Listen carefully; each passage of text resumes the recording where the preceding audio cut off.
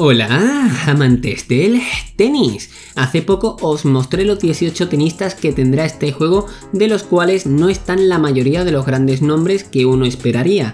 Además de esto, no hay ningún estadio licenciado, por lo que las 65 canchas que tendrá son ficticias. Esto no solo es una mala noticia para el modo carrera, pues si solo hay 11 tenistas masculinos y 5 femeninas, será complicado encontrarlos. Lo mismo con el online, si es que se puede elegir a un tenista profesional, pues los enfrentamientos tendrían poca variedad. Y es que sí, estoy totalmente de acuerdo con decir que 18 tenistas son muy pocos, pues ¿cómo es posible que un juego de baloncesto tenga decenas de equipos con sus plantillas? ¿Y los juegos de fútbol qué? Con todos los estadios, jugadores, liga, hasta narración del partido, y encima graficazos, animaciones, física, sonido... ¿Cómo es eso posible y que un juego de tenis no sea capaz? Pues bien, este tema es complejo y lo quiero desarrollar en profundidad en otro vídeo, pero simplificando bastante, todo se basa en el precio de las licencias. Digamos que para un juego de fútbol lo que compran es la liga y en ella viene incluido todos los equipos y jugadores.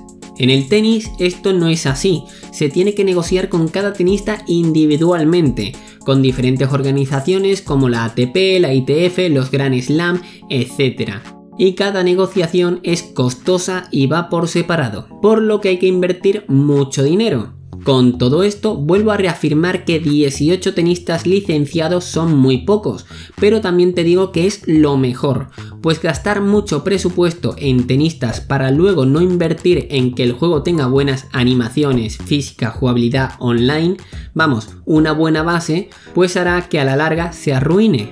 De hecho, te voy a lanzar una pregunta y quiero que decidas lo que para ti es una mejor opción. ¿Qué prefieres? ¿Un juego con 50 tenistas profesionales y que tengan malas animaciones, jugabilidad, etcétera? ¿O prefieres un juego que tengas muchos menos tenistas pero que sí tiene una buena jugabilidad online y todo eso? Piénsalo, ¿qué prefieres? Obviamente preferiría lo mejor de las dos cosas, claro, pero cuando no te llega el presupuesto hay que decidir en qué invertir. ¿Yo qué es lo que elijo? Pues como siempre, la jugabilidad. Es verdad que poner a Nadal, Federer y Djokovic va a vender más a priori, pero lo que hará que se queden será la jugabilidad. Pero como siempre, en mi canal me encanta informar y dar datos, así que además de haberte dado mi opinión, te voy a presentar varias comparaciones gráficas entre diferentes juegos de tenis, algunos más nuevos y otros más antiguos, pero datos muy interesantes. ¿Qué crees que ganará? ¿Los juegos con más tenistas licenciados o con mejor jugabilidad? Vamos a verlo. Y voy a empezar con los tres primeros juegos que van a ser completamente indies, con muy poco presupuesto y hechos por una o dos personas. Estos juegos suelen tener malos gráficos y además algunas animaciones como por ejemplo el desplazamiento bastante horribles. Por supuesto ni que decir tiene que este tipo de juegos no tienen licencias ni de tenista ni de pistas. Más que nada porque es una persona el que lo desarrolla, no tiene ese dinero. Y entonces, ¿cuál es la ventaja de estos juegos? Bueno, pues la fuerte comunidad que se forma gracias a los mods.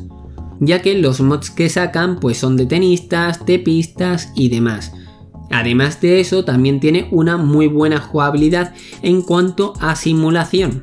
El primero de ellos es el Tennis Elbow 2013, el cual salió en 2015 tiene un pico actual de más de 60 jugadores semanales y en cuanto al día también.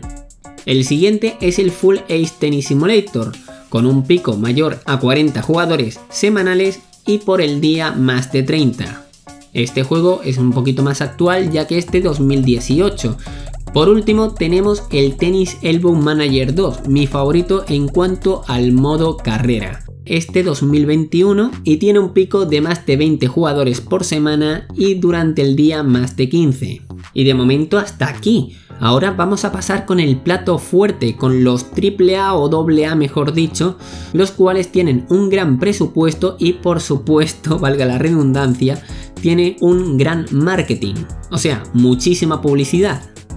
El primero de ellos es el Tennis World Tour 2, el cual actualmente solo tiene a 18 jugadores semanales y durante el día 16, aunque es cierto que tiene a 236 personas viendo el stream de algún jugador, pero eso, viendo, jugándolo ni con un palo.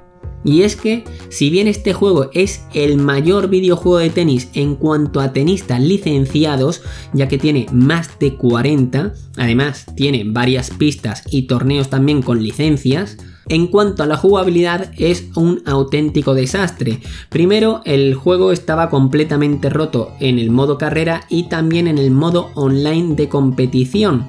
Y como decía, la jugabilidad es bastante ortopédica, haciendo que las órdenes que le das al muñeco ejecute otras totalmente diferentes. De hecho, incluso saques a 250, subidas a la red inesperadas, en fin, muy ortopédico. Por cierto, tenéis el análisis completo de este juego abajo en la descripción. Por cierto, no sé si he dicho la fecha, pero este es septiembre de 2020. Pero bueno, pasemos ahora a su competidor principal, que es el AO Tennis 2. También se lanzó en 2020 a principios y ojo porque tiene 100 jugadores de pico esta semana y durante el día 76. ¿Y qué tiene este juego para tener tanta gente en comparación con el anterior? Pues a priori tiene menos tenistas licenciados ya que posee unos 31 aproximadamente y solo un torneo licenciado que es el Open de Australia pero hace una cosa muy pero que muy bien. Tiene un gran modo editor y además tienes el modo también de comunidad en el cual puedes encontrar diferentes jugadores editados que puedes descargarte y jugar con ellos, al igual que pistas y logos. Por otra parte, la jugabilidad es más o menos decente, además cuenta con varios modos de dificultad, los gráficos tampoco están mal, las animaciones dentro que cabe se salvan, en fin, pasable. Pero me gustaría incluir un último juego, el Tennis World Tour 1, un juego que salió completamente roto, ya que eh, lo sacaron al 30%. También tenéis el análisis de este juego y una comparación de la Otenis 2 abajo en la descripción. Y es que, como decía, este juego lo sacaron al 30% del desarrollo o incluso inferior, estafando a muchísima gente y vendedores. Por supuesto, este juego también obtuvo grandes licencias de jugadores top y de estadios y torneos. En cuanto a los jugadores semanales, tiene un pico de 17 y durante el día un pico de 12. El juego no es que sea súper antiguo, pues es de 2018, que por cierto se podría comparar con el Full Ace Tennis Simulator mencionado anteriormente. Pero bueno, decir que este Tennis World Tour 1 ha mejorado bastante a como salió, sigue siendo bastante malo, pero la mejora es notable. Y ojo porque es muy superior al Tennis World Tour 2, lo cual es una auténtica lástima.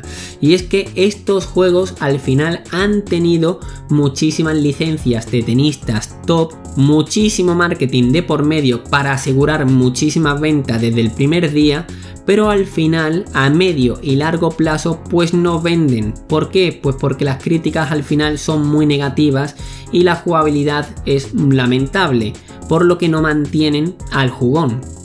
En cambio, otros juegos como el AO Tennis 2 o los indies pues sí que han hecho un gameplay mejor y que atrapa más al jugador por lo que si bien no han tenido tantas ventas al principio, se han asegurado de tenerlas a medio y largo plazo, además de obtener buenas críticas. Y al final es que esto es lo que le pido yo al nuevo juego de tenis de este año, el Match Point. Que tenga una base sólida, o sea, animaciones, física de la pelota, online y sobre todo jugabilidad. Si eso lo tiene de base, el juego venderá. No tanto a corto plazo, pero sí a medio y largo, con lo cual se podrán permitir el sacar más tenistas top y así también vender más.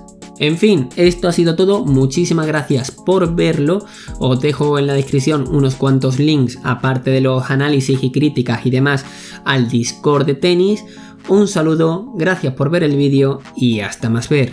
Adiós.